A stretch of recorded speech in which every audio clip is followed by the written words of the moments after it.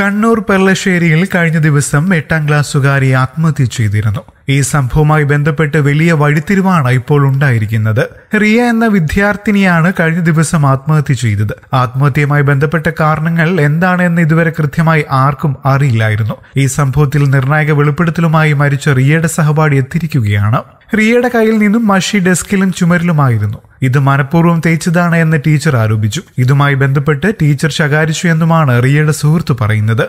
ഇതിനു പുറമെ ഇരുപത്തി അയ്യായിരം രൂപ പിഴ ഒടുക്കണമെന്നും ടീച്ചർ ആവശ്യപ്പെട്ടതായി സുഹൃത്ത് പറയുന്നു റിയയുടെ സ്റ്റുഡന്റ് പോലീസ് കേഡറ്റ് അംഗത്വം റദ്ദാക്കുമെന്നും പറഞ്ഞുവെന്നും ഇതിൽ സങ്കടപ്പെട്ട് കരഞ്ഞുകൊണ്ടാണ് റിയ വീട്ടിലേക്ക് പോയതെന്നും സഹപാഠിയുടെ വെളിപ്പെടുത്തൽ. റിയയുടെ ആത്മഹത്യക്കുറിപ്പിൽ ടീച്ചറുടെ പേരുണ്ടായിരുന്നു.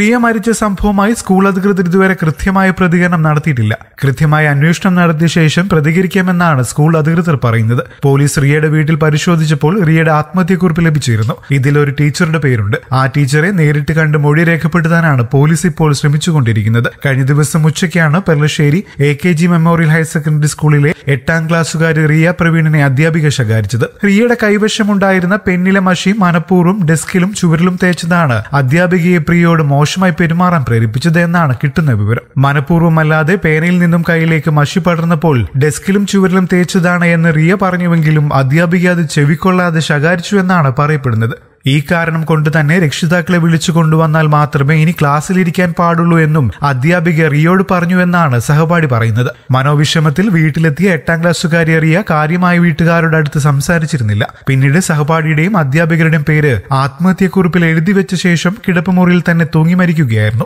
കിടപ്പുമുറിയോട് ചേർന്ന് ജനൽപാളികളിലാണ് റിയ ആത്മഹത്യ ചെയ്തത്. കണ്ണൂർ ജില്ലയിലെ പെർലശ്ശേരിയോട് ചേർന്ന് ഐവർ മഠം സ്വദേശിനിയാണ് റിയ. പഠിക്കാൻ വളരെ മിടുക്കിയായിരുന്ന റിയെ വഴക്കു പറഞ്ഞത് മാനസികമായി തളർത്തി.